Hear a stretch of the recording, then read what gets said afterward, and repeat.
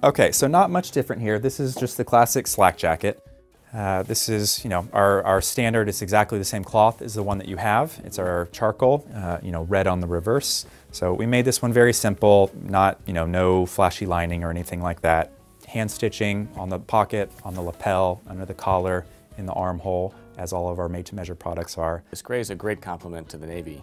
Yeah, it, really have both. Very wearable piece. You know, we like to start people in a navy or a green or something like that. That's a little easier to wear, especially with gray pants. Or if you don't plan on wearing it, you know, with dressy gray pants, if you wear it with khakis or jeans or things like that, it's a great color.